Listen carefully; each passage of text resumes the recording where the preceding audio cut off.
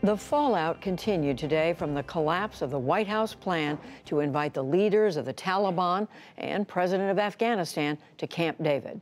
President Trump's twin surprise that he had invited the Taliban to the U.S., but then was canceling the talks, echoed in Washington and in Kabul. And that's where special correspondent Jane Ferguson is tonight. Leaving the White House today, President Trump had ominous words about the Taliban peace talks. They're dead. They're dead. As far as I'm concerned, they're dead. He spoke after canceling separate meetings with Afghan President Ashraf Ghani and Taliban leaders planned for this weekend at the Camp David presidential retreat. Lawmakers of both parties blasted the president for even inviting the Taliban to Camp David, days before the 18th anniversary of the September 11th terror attacks. Democratic Senator Robert Menendez of New Jersey. I think it was ill conceived in the first place. It's another example of the Trump administration's foreign policy, which is a high wire act. Liz Cheney of Wyoming, the third ranking Republican in the House, tweeted No member of the Taliban should set foot there ever. The meeting would have come after nearly a year of talks. U.S. officials, led by Afghan native and former Ambassador Zalmay Khalilzad, and the Taliban had closed in on a peace deal to end the 18 year American war in Afghanistan. As part of that tentative deal, the U.S. would remove 5,000 troops in return for a Taliban pledge to reduce violence and prevent the terror groups like ISIS and Al Qaeda from operating in the country. There would also be follow on talks between the Taliban and the Afghan government. Then, in three tweets Saturday night, President Trump announced the Camp David talks with the Taliban and said he had cancelled the meeting and called off peace negotiations. He blamed a Taliban attack last Thursday that killed a U.S. soldier, an attack he said proved the Taliban were negotiating in bad faith.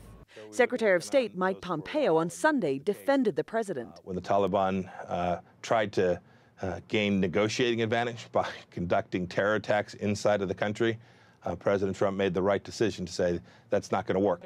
In Kabul, Afghan presidential spokesman Sadiq Siddiqui welcomed the breakdown of the deal.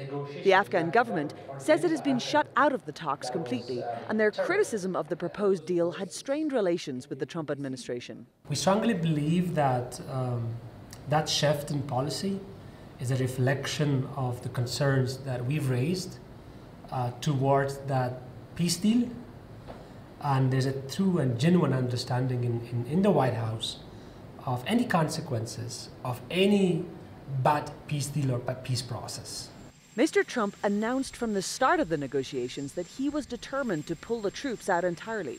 I would have done the negotiations differently. Dr. Hamdullah Mohib is President Ashraf Ghani's national security advisor. Showing your card right at, from the outset doesn't make for good negotiations.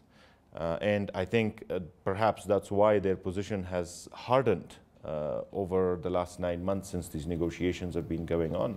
Violence across Afghanistan in recent weeks has been staggering as both sides have pressured one another in the negotiations.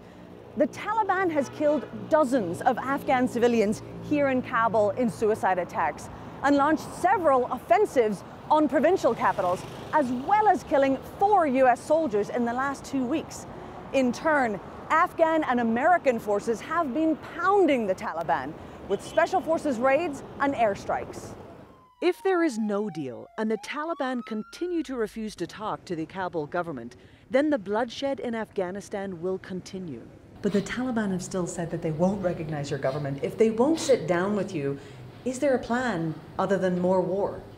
If they do not accept that, and they are still a major threat to the security of us and partners, so they will face the consequences, and we have the will.